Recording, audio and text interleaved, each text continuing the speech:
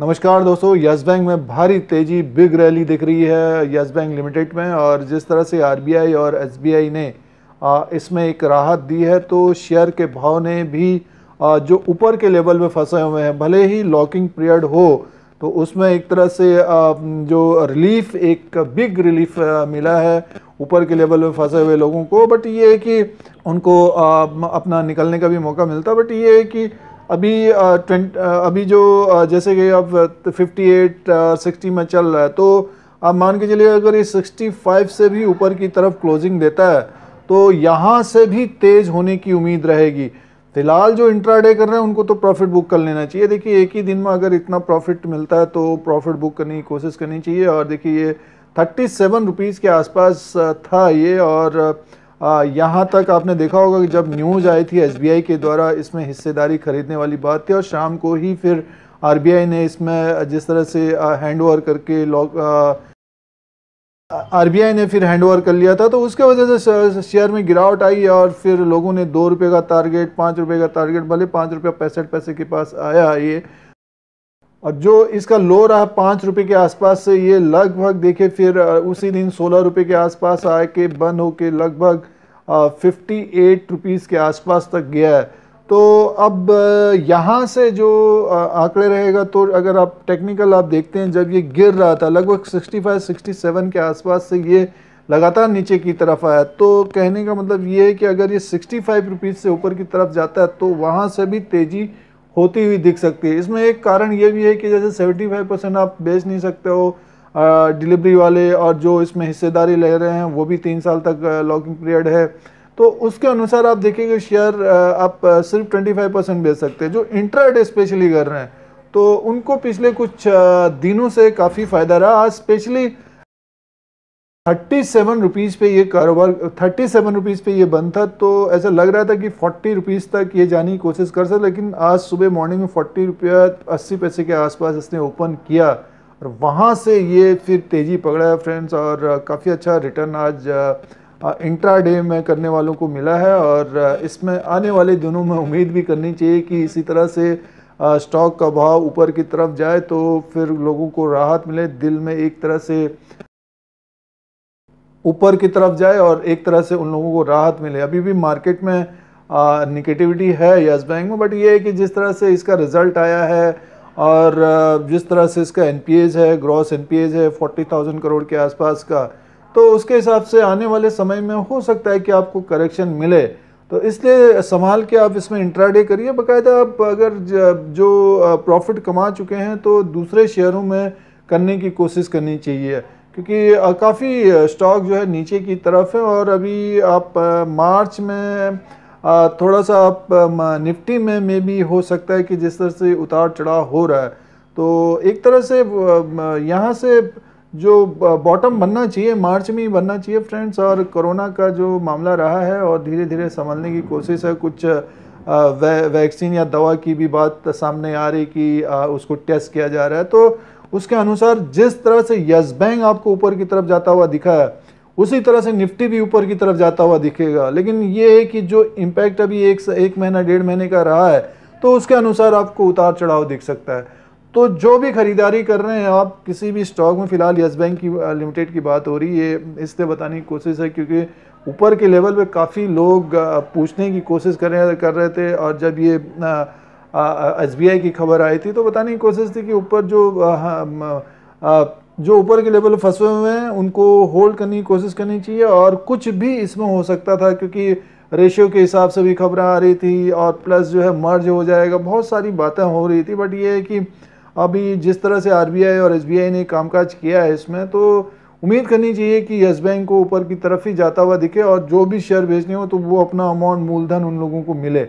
तो आज फ्रेंड्स ये जो ट्रेड रहा है, उसको देखने की कोशिश करते हैं और जो इंट्राडे स्पेशली करते हैं, आंकड़े के हिसाब से करते हैं तो उसको भी दिखाने की कोशिश करेंगे।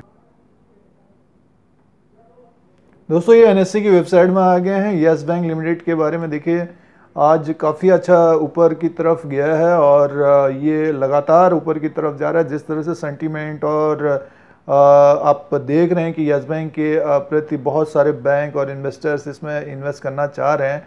और थर्टी सेवन रुपीज़ के आसपास क्लोजिंग थी और देखिए ये यही बात करने की कोशिश चालीस रुपये अस्सी पैसे के आसपास ओपन हुआ है और चालीस रुपये अस्सी पैसे के आसपास लो हुआ है। क्योंकि ये पिछली बार आपने देखा होगा कि ये फोर्टी रुपीज़ से ऊपर की तरफ़ जाने की कोशिश नहीं कर रहे, क्योंकि मार्केट में क्योंकि मार्केट में सत्तर लोग बेचने के लगे हुए थे और तीस लोग उसमें खरीदने के लिए कोशिश कर रहे थे। बट वो जो थर्टी लोग थे और जो सेवेंटी लोग परसेंट उसमें सेल कर रहे थे, आज के दिन ये पिछले कुछ समय से वो एक तरह से ट्रैप भी हो गए। जितना उन्होंने कमाया होगा, वो एक तरह से उनका निकल भी गया होगा। तो ये मार्केट है फ्रेंड्स और इसीलिए जब भी कोई भी स्टॉक में अगर आप ट्रेडिंग भी कर रहे हैं या फिर इन्वेस्टमेंट भी कर रहे हैं तो ज़्यादातर आप दिखेगा कि शॉर्ट सेलर को काफ़ी अच्छा फ़ायदा तो होता है बट अगर आप उसका सेंटीमेंट और लॉजिक आप नहीं पकड़ पाएँगे तो नुकसान भी बहुत हो जाता है। उसमें ये भी ध्यान रखने की कोशिश करनी चाहिए। आज देखिए, लगभग देखिए, जिस तरह से ये ऊपर की तरफ़ गया है, लगभग सोलह रुपये से ऊपर की तरफ़ गया है, सिक्सटी परसेंट ऊपर की तरफ़ आप कितने लोगों का इसमें आज नुकसान हुआ होगा शॉर्ट सेलर्स का? बट एक तरह से पिछले दो तीन महीने से जो बाई में लगे हुए थे, उनको काफ़ी अच्छा प्रॉफिट रहा है। अब जो आप, अगर आप प्रॉफिट आज आपको मिला है तो दूसरे स्टॉक्स में लगाने की कोशिश करिए। और जो ऊपर के लेवल में फंसे हुए हैं फ्रेंड्स आप लोगों के लिए एक तर... जो ऊपर के लेवल में फंसे हुए हैं, उनके लिए राहत है। भले यस बैंक जो है, कुछ ना कुछ दे जाएगा, डूबेगा नहीं। और आरबीआई और एसबीआई ने काफ़ी अच्छा ये काम किया है। अब लोग जो है, इसको नीचे की तरफ़ लगभग चार रुपया या दस रुपया लाने की कोशिश करेंगे। देखना पड़ेगा कि यह किस तरह से ट्रेड करता है बट अभी सेंटीमेंट इसमें पॉजिटिव है। अगर शॉर्ट में आप रहेंगे तो आपको नुकसान हो सकता है। तो ये ध्यान रखिएगा फ्रेंड्स यस बैंक में फ़िलहाल आज ये ट्रेड इसलिए दिखाने की कोशिश है फोर्टी रुपया अस्सी पैसा से ऊपर की तरफ़ अगर ये यहाँ पे अगर, नीचे की तरफ़ आएगा तो जो इंट्रा डे कर रहे हैं, उनके लिए बताने की कोशिश है कि फिर और जैसे कि थर्टी सेवन या थर्टी फाइव तक आने की कोशिश कर सकता है।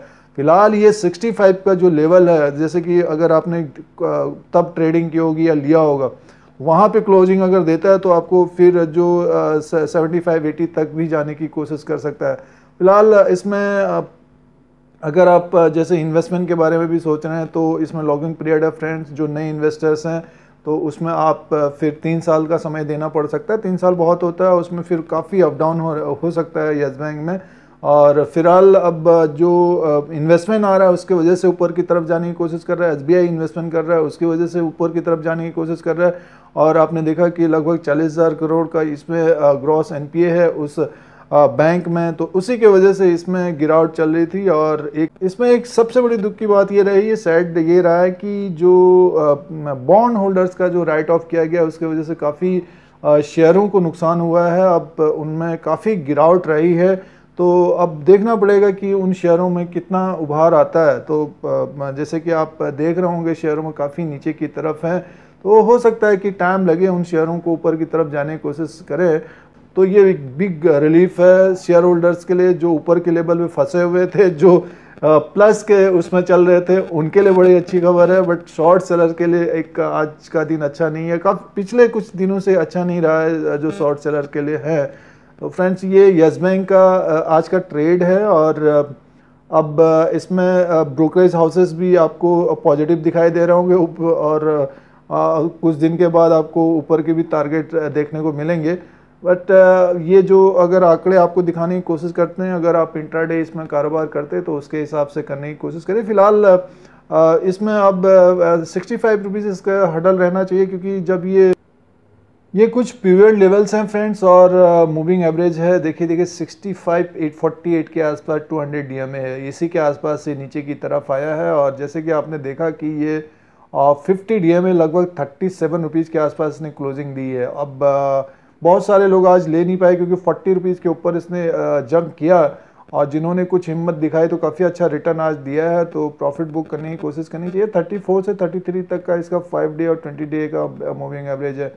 और नीचे की तरफ़ देखिए, लगभग चौदह रुपया से ये ऊपर की तरफ़ जाने की कोशिश किया है इसने। अब उम्मीद करनी चाहिए कि ये लेवल नीचे की तरफ़ ना आए और बहुत सारे लोग इसमें लॉस बुक कर चुके हैं। बट जो हिम्मत करके जिन्होंने होल्ड किया एस की हिस्सेदारी इसमें खरीद सकती है बट वो जो एक पैनिक सेलिंग लोगों ने की है, लगभग पाँच रुपये के आसपास है और इसमें काफ़ी लोग फिर अपना जो जितना मिलता है उतना निकलने की राय दे रहे थे उस वक्त, और वो काफ़ी लोगों ने बेच के निकल गए फ्रेंड बट जो रह गए, और जिन्होंने रखा कि चलो देखा जाएगा, अब फंसना था तो फंस गए। तो उसके हिसाब से उन लोगों के लिए एक तरह से जो 40 से 70 रुपए का जो आ, रेंज था पिछले कुछ समय से पाँच छः महीने से जो ऊपर के लेवल पे फंसे हैं उनको तो अभी और इंतज़ार करना पड़ सकता है बने रहना चाहिए। क्योंकि अभी